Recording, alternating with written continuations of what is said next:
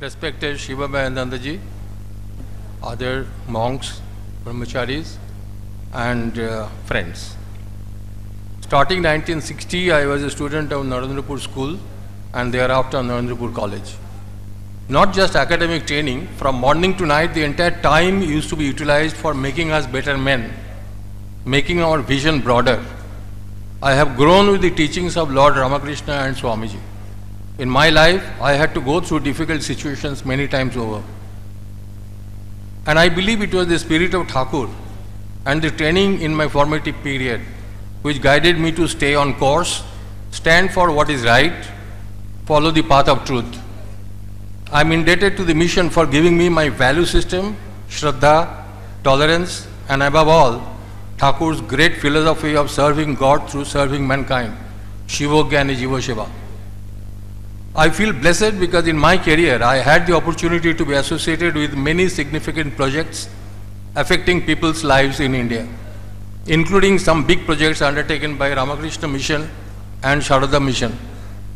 In doing so, I have seen the difficulties faced by these organizations in raising funds. We are lucky that even now our mission provides us, the members of alumni, variety of options for participating in multiple activities be it religious or serving people. I believe getting involved in any manner in any of the activities of the mission is doing a job assigned to me by Thakur. I am happy to see that later in the day we shall discuss what we, the alumni, can contribute to the cause of the mission. I suggest the important issue of fundraising be included in our discussion. History has shown us how individuals outside the monastic order can help the cause of the mission. It was Alasinga Perumal who formed a subscription committee and made Swamiji's travel to USA possible. When Swamiji ran out of money and wrote to Alasinga, he borrowed rupees 1000 from a merchant, sold his wife's ornaments, added his month's salary and sent money to Swamiji. Later, of course, the American citizens came forward to support Swamiji. In 19, uh, sorry, 18, 1898, purchase of the plot of 7 acres at Belur was possible because of Miss Henrietta Muller's contribution. Subsequently, improvement of the land was possible because of Swamiji's London disciples and Mrs. Ole Bull's contribution. Swamiji dreamt of a grand Ramakrishna Mandir, but its construction could start 27 years after the death of Swamiji in 1902. It was possible due to the substantial contribution from Miss Helen Rubel and Mrs. Anna Worcester. In 1898, Calcutta was hit by plague epidemic. Ramakrishna Mission along with Sister Nivedita jumped into relief work. When the relief work was crippled for paucity of funds, Swamiji was so much disturbed that he wanted to sell off the newly purchased Belur land. Ma Sharada intervened and saved the situation. Why am I saying all this? Ramakrishna Mission is much bigger than what it was in the past. Large number of projects are undertaken Funds are required for executing these projects and also for maintaining the existing setup. Need for funds has gone up manifold. I strongly feel that in shaping up our lives, the mission has played a huge role and now it is our turn to be of some use to the mission. Question is, I mean, let's go, before I go to what we can do, let's see what other alumni associations are doing. In the recent years, IIT Madras alumni has contributed over 225 crores. The number of donors is 10% of the total strength, alumni strength. Incidentally, a recent study shows that as much as 50% of the alumni participate in US premier institutions. Alumni donations, second, alumni donations to the, to the top five IITs may cross 1000 crore by the end of this year. BITS Pilani launched the Bridges to Future fundraising campaign to raise $1 million. The trend of alumni giving back to the alma mater has seen a rise in the last few years and it is largely on account of vibrant and engaged alumni network.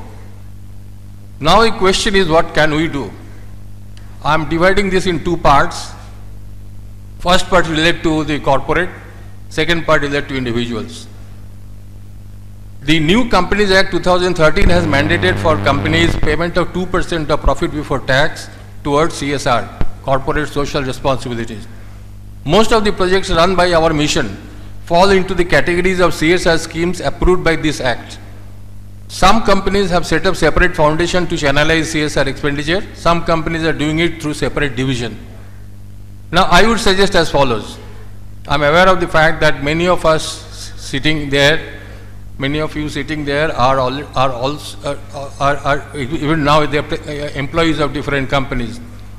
If you are an officer of any of these foundations or CSR division, be in touch with Belur, find projects compatible with your organization and push forward proposals in consultation with the mission.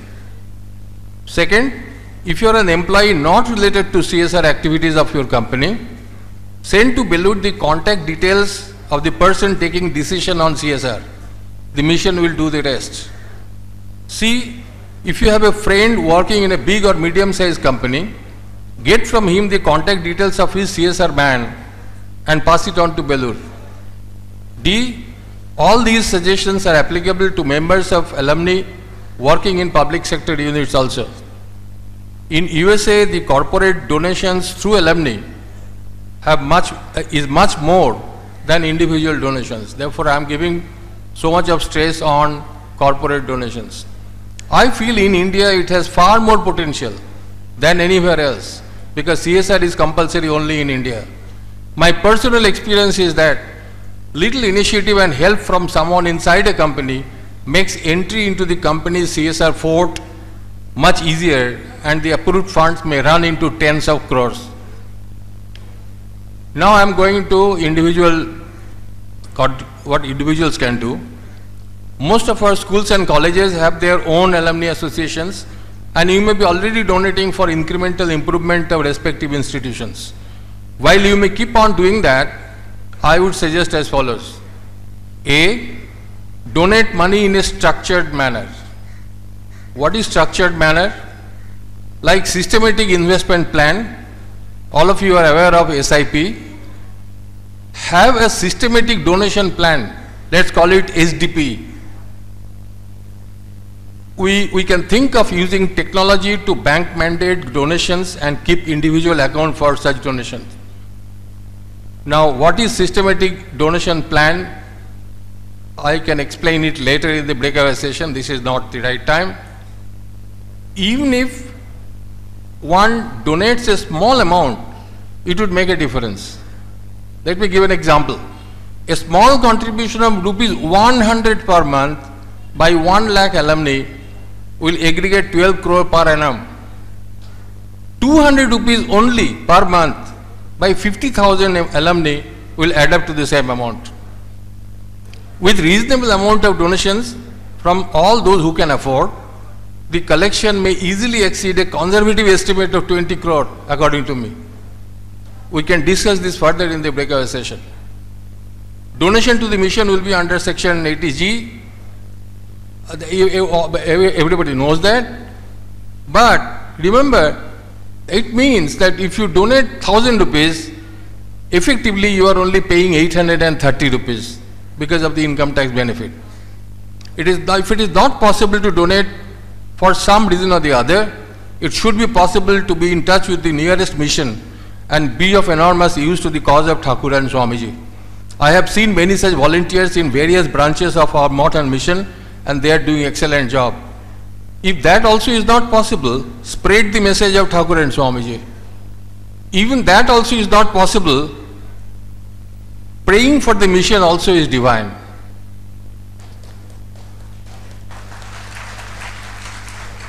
Now I have some few humble suggestions for consideration of the mission authorities.